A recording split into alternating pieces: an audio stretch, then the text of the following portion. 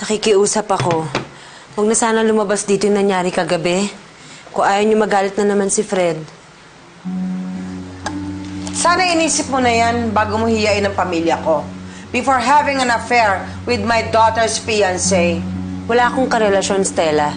Kung ayaw mo maniwala, wala akong magagawa. Ang tapang-tapang mo pa, wala ka nang kakampi. Nakita mo ang papa, wala na sa tabi mo.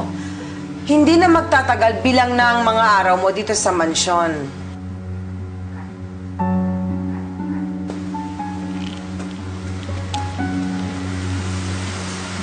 Walang susunod doon.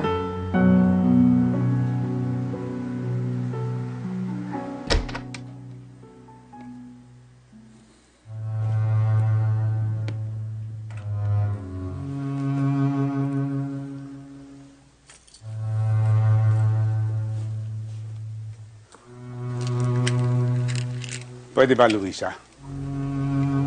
Hayaan mo muna ako mapag-isa. Fred, maniwala ka naman sa akin. Hindi mo kasi ako pinapakinggan eh. Ano pa bang gusto mong gawin ko?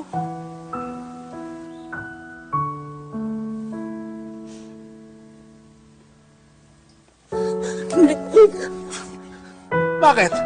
Naisip mo si Mark? Kung paano mo siya hinahalikan? Hindi ganun, Fred. Hindi ganun. Hindi ganun. Hindi. Akin na. Akin na. Kung wala kayong affair, ano ito? Ano ito, Luisa? Mula ngayon, hindi ka na lalabas ng mansyon, ha? Hindi ko kayo bibigyan ng pagkakataon na lokohin ako.